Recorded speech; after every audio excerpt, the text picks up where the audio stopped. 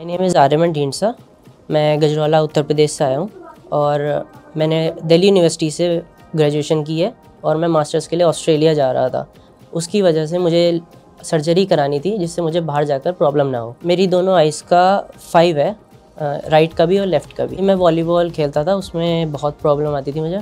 और occasionally football भी खेलता था तो उस उसमें भी प्रॉब्लम्स होती थी बहुत। डेली लाइफ में फॉग आ जाता था वाटर रिलेटेड काम कर रहे हैं तो फिर ड्रॉप्स आ जाती थी जिससे विजन का बे, बेकार हो जाता था। उन्हें साफ़ करो और हर क्लोथ से साफ़ भी नहीं कर सकते तो उसमें भी ढूँढने की प्रॉब्लम होती थी। मैं परेशान हो गया था चश्मे से। मैं यूट्यूब पर देख रहा था एक बार और मेरे एक फ्रेंड ने भी कराया था उसने भी अच्छा बताया था। ट्रस्ट मुझे ऐसे हुआ जब मैंने यूट्यूब पे देखा 250 सर्जरीज इन वन डे मतलब तो एक्सपीरियंस होता है डॉक्टर को तो उस वजह से ट्रस्ट भी बनता है। ये भी एक ट्रस्ट वाली बात थी, क्योंकि मुझे बिल्कुल प्रॉब्लम नहीं हुई। हाँ थोड़ा सा एंक्शियस और थोड़ा सा एक्साइटेड भी हूँ कि उसके बाद मुझे अच्छे से देखने को मिलेगा, चश्मे की प्रॉब्लम नहीं होगी।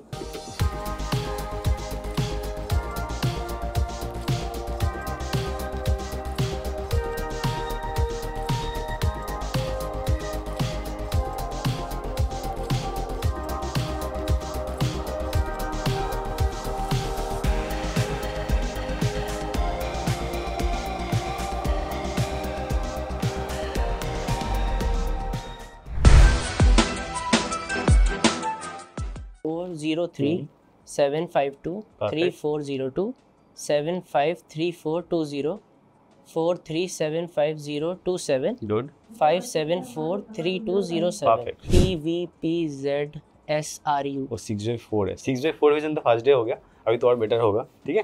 तो ऐसा लगा सब एचडी में हो गया है एकदम. ब्लर से एचडी हो गया है. ये लगे एकदम से हाई डेफिनेशन वीडियो क्वालिटी सी आ गई आँखों में। ऐसा लगा चश्मा मैंने लगा रखा है। मैंने ऐसे एक दो बार हाथ किया कि ये चश्मा है क्या? नहीं है। डॉक्टर राहिल चौधरी की तारीफ़ करना चाहूँगा, वो बहुत अच्छे से समझाते हैं मुझे कौन सी सर्जरी करानी चाहिए, कौन सी नहीं। और ये सब चीज़ें बहुत अच्छी लगी मुझे। लाइक फैमिलियर एक्सपीरियंस था, ऐसा नहीं लग रहा था, कोई नया डॉक्टर से मैं बात कर रहा हूँ। Thank you all the staff of I seven